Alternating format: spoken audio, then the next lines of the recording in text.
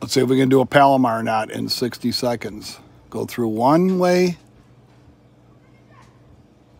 come back through the other way. We've got a big loop here. Pull some extra stuff here. Now we just simply make an overhand knot and get the hook that's stuck in your finger out of your finger.